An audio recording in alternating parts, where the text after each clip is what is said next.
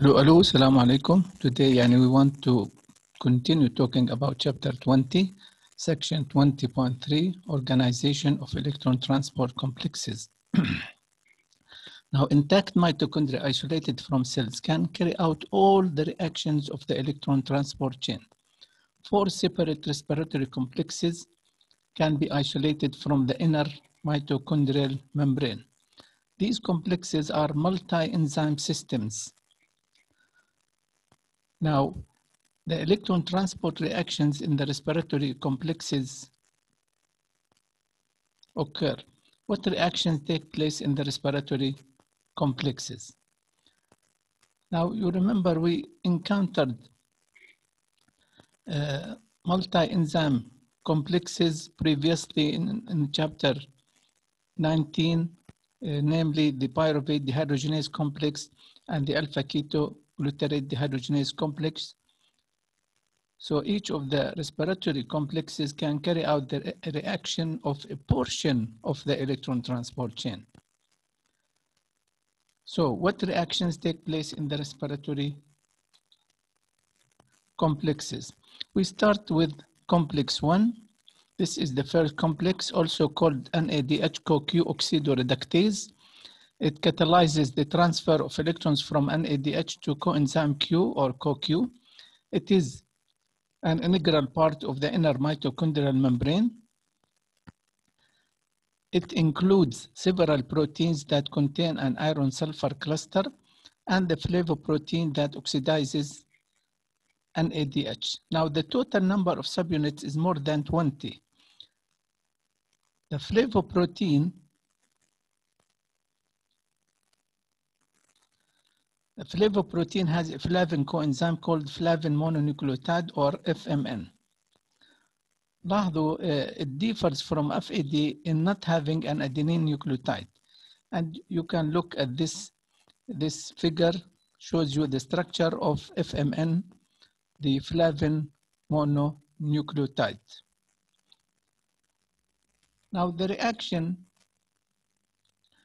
of this complex occurs in several steps with successive oxidation and reduction of the flavoprotein and the iron sulfur cluster. Now, step one, transfer of electrons from NADH to the flavin portion of the flavoprotein. NADH plus H plus plus EFMN produces NAD plus plus E attached to FMNH2. Notice here that that EFMN indicates that the flavin is covalently bonded to the enzyme, remember. So it is oxidized while it is bonded covalently to the enzyme.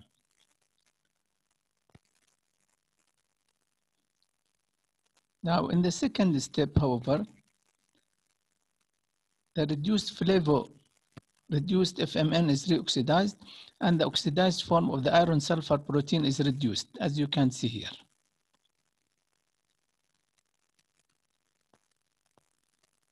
Now the reduced iron sulfur protein then donates its electron to coenzyme Q, which becomes reduced CoQH2 so this is step three. Then it takes place in, seven, three steps. Now, if we look at this figure, it shows us the oxidized and reduced forms of the coenzyme Q. Notice that coenzyme Q is also called ubiquinone. This is the oxidized quinone form, and when it is reduced, it's called hydroquinone form. Then the oxidized quinone, the reduced hydroquinone form.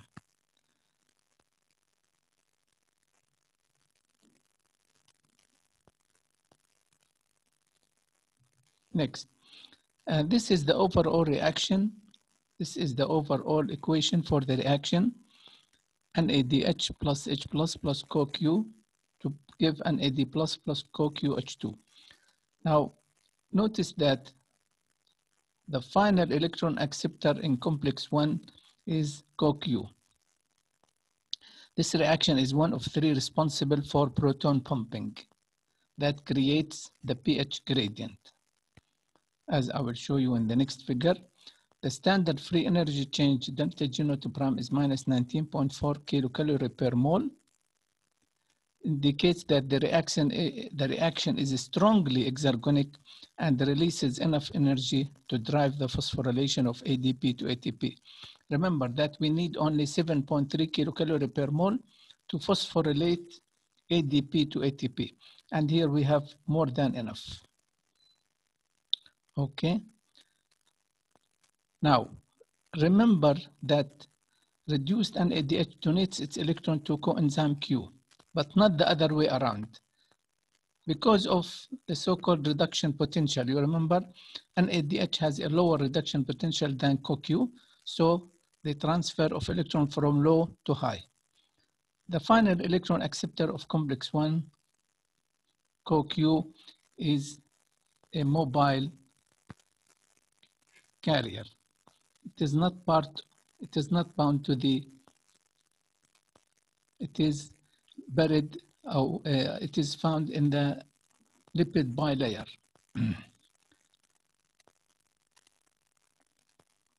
Let me show you this figure. this is the electron transport chain showing all the respiratory complexes. Notice here that the reduced cytochromes, the iron is in the iron 2 oxidation state. In the oxidized cytochromes, the iron is in the Fe plus 3 oxidation state. Now, we started here with complex 1.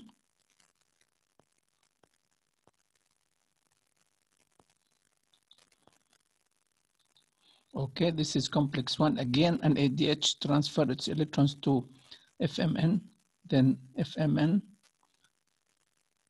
transfer its electron to iron sulfur, which finally transfer its electron to coenzyme Q, as you can see. Now, NADH, remember that carry electrons and hydrogens in their reduced forms.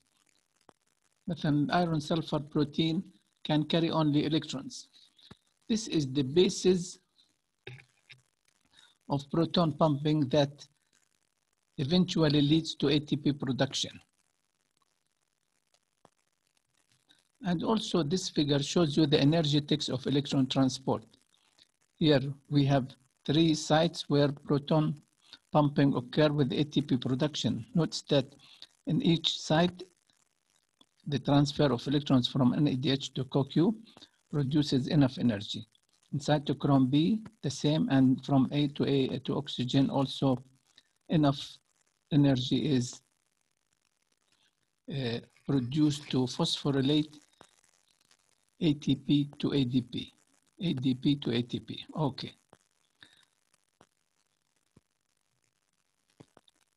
Now we shall see the second complex, which also transfer electrons from an oxidizable substrate to coenzyme Q. Now, so complex 2, the second of the four membrane-bound complexes called succinate CoQ oxidoreductase. Also catalyzes the transfer of electrons from succinate to CoQ. لاحظوا. Also here we have two stages, or three stages. Now, succinate is oxidized to fumarate by a flavin enzyme. لاحظوا. You remember succinate, the substrate uh, from the citric acid cycle is also oxidized to fumarate by a flavin enzyme. Now again, the notation E FAD indicates that the flavin portion is covalently bonded to the enzyme. Now the flavin group is reoxidized in the next stage where uh, as another sulfur protein is reduced, as you can see here.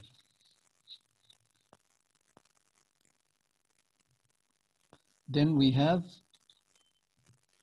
in stage three, the reduced iron sulfur protein donates its electron to oxidized CoQ and CoQ is reduced to CoQ H2. And the overall reaction is this, the oxidation of succinate to fumarate using coenzyme Q, which is uh, oxidized to CoQH2. We already saw the first step of this reaction as we discussed the oxidation of succinate to fumarate as part of the citric acid cycle. You remember the enzyme traditionally called succinate dehydrogenase, which catalyzes this oxidation. Okay, uh, of succinate to fumarate. Now, this enzyme has been shown by later work to be part of this enzyme complex, complex 2. Recall that the succinate dehydrogenase portion consists of a flavoprotein and an iron sulfur protein. The other components of complex 2 are a B-type cytochrome and two iron sulfur proteins. The, home, the whole complex again is an integral part of the inner mitochondrial membrane. Now this, uh, notice that this uh, reaction is exergonic with small value for delta G naught prime. Energy from this reaction is not enough to drive ATP production. You remember I said we need 7.3 at least. So no proton is pumped out of the matrix during this step. Then, as I said, ATP production is coupled to proton pumping. So in complex two, no proton pumping, no Uh, ATP production. Action of cytochromes. Now in further steps of the electron transport chain, electrons are passed from CoQ, which is reoxidized to cytochromes. Now what are cytochromes? Groups of heme-containing proteins in the electron transport chain. In each heme group, the iron is successively reduced to iron 2 and reoxidized to iron 3. Also, the different types of cytochromes are distinguished by lowercase letters ABC, and further distinction is made possible with subscripts like C1.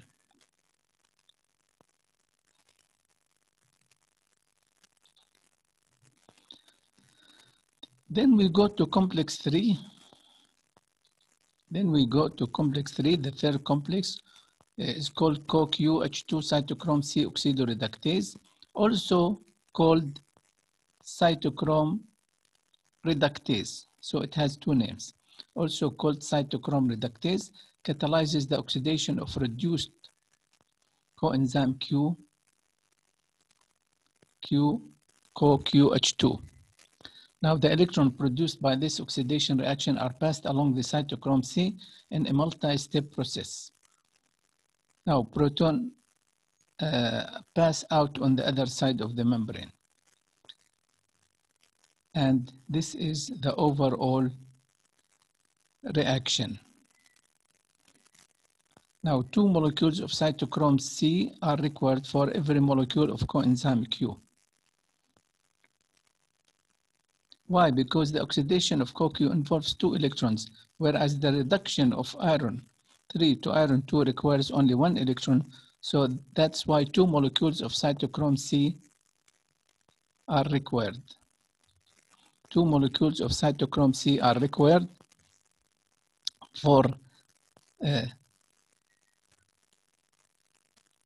every molecule of coenzyme Q.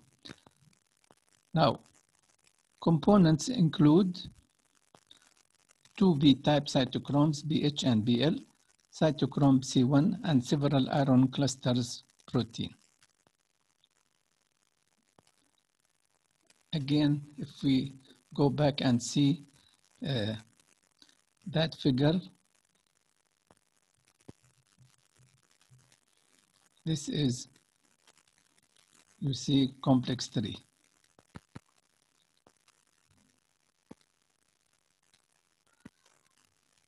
and this, this is complex two, this is complex three, and here complex four, which we will see.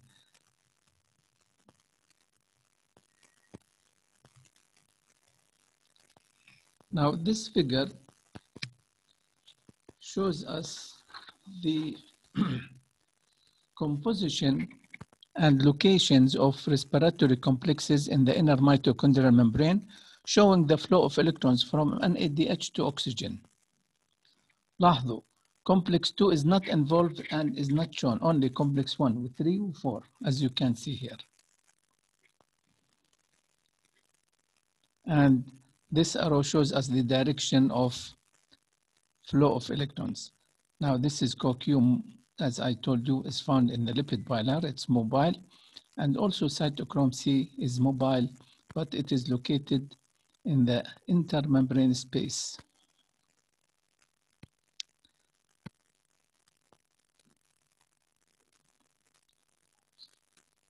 We will see this again as we go. Now, series of reactions in the electron transport chain provides the link between two electron transfer and one electron transfer, involves the flow of electrons via a cyclic path from CoQH2 to other components of the complex, depends on the fact that coenzyme Q can exist in three forms. And these are the three forms. As I said, CoQ or ubiquinone, the oxidized or quinone form, then loss of electron, it becomes semiquinone, then another electron, it becomes reduced or hydroquinone form. And this figure shows us the oxidized and reduced forms of complex Q, showing the intermediate semiquinone anion from form involved in the so-called the Q cycle. Don't worry about the details of the Q cycle that are found in the text. Now, in this part of the cycle, one electron is passed from CoQH2 to the iron sulfur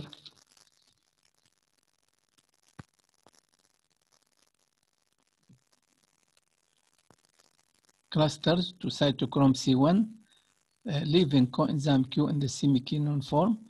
And this is the arrangement, CoQH2 to iron sulfur to cytochrome C1.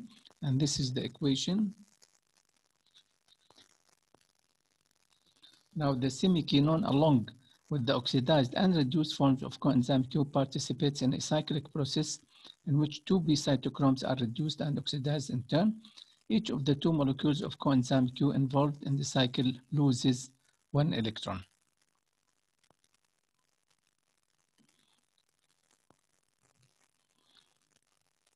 Again, complex 3, the Q cycle, provides a mechanism for electrons to be transferred one at a time from coenzyme Q to cytochrome C1. Now, complex 3 results in proton pumping and supplies enough energy. Remember, this is delta G naught minus 8.2 kilocalorie per mole to drive ATP production because of the reaction that it catalyzes. Recall that the phosphorylation of ADP requires uh, 7.3 kilocalorie, and here we produced more than that. So again, in complex